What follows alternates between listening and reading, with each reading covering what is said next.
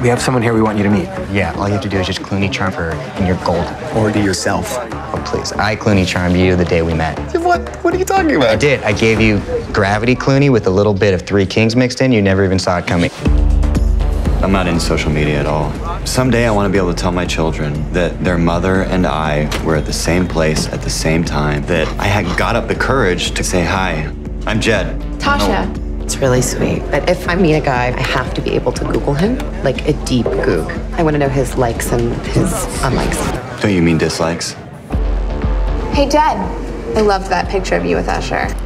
Yeah, that was a fun night. When was that? Um, Listen, you're obviously a gifted artist.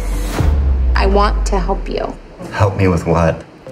I'm interested to see if I can take someone like you and grow their following to a significant place. Jed, you are gonna be the guy every girl wants to be with. Frankie Donegan. Jed, I have not seen you since high school. Actually, that's not true. We're Facebook friends. She has got your life looking so incredible. I mean, I'm your closest friend, and you are not that exciting. Oh my god. Usher. He's here. Relax, there's no way he's seen the picture. The picture's been liked over a million times. Yo, Just act like a fan. Jed, right? From Vegas. How are you? Oh, oh man, cool.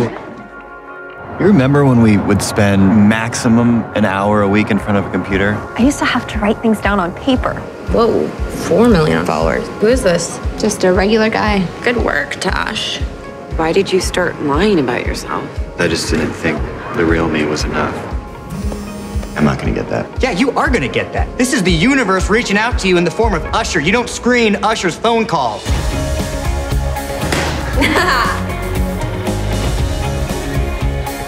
It's a miracle. Where are you going? I don't know. Let's find out.